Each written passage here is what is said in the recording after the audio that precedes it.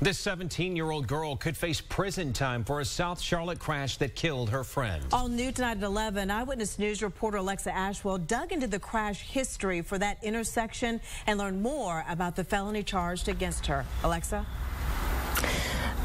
Scott, Erica, this memorial for the teen killed in the crash continues to grow tonight. We have two families that most likely will never be the same after this crash that happened near an intersection residents say is dangerous.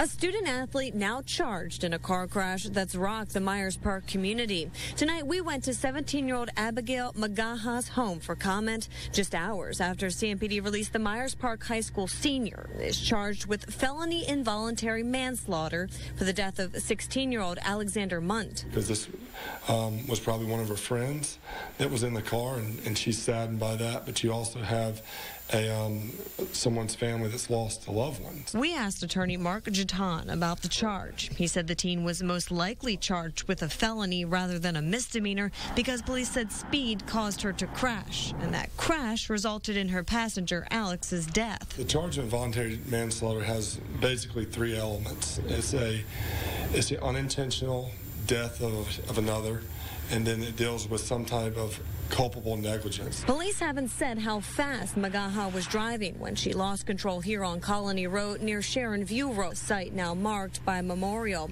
But those who live nearby told Channel 9 very few drivers obey the speed limit here. Every two weeks you find pieces of cars left over. We checked and CDOT said there has been 43 crashes at this intersection since 2008 and about half left someone injured.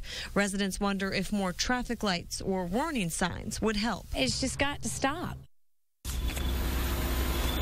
Residents also expressed concern about a hump in this intersection. CDOT said it would be investigating the crash in addition to CMPD.